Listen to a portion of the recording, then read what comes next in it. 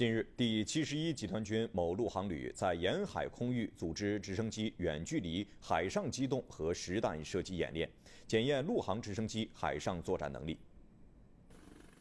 沿海某野战机场，多架战鹰挂载实弹，听令起飞，在空中完成战术编队后，向海上预定区域隐蔽机动。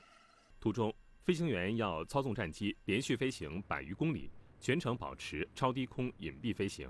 从陆地进入海上飞行后，高温高湿的气象条件和风向多变的海上环境，对直升机功率和姿态保持带来一定的影响。通过这种极限条件训练，我们也探索了装备性能，锤炼了技术水平。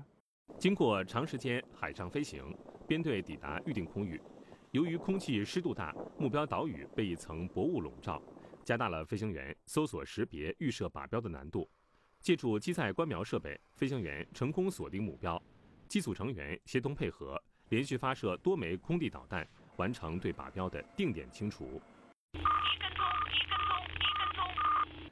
首轮打击刚刚结束，直升机就遭遇敌防空火力模拟打击，飞行员随即发射干扰弹，并采取大坡度转弯等战术动作进行规避。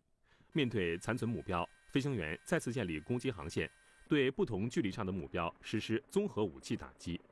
演练活动持续近十个小时。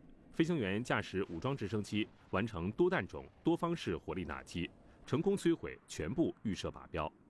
下一步，我们还将继续研究跨海作战特点规律，探索实用管用的战术战法，进一步提升我们陆航直升机海上作战能力。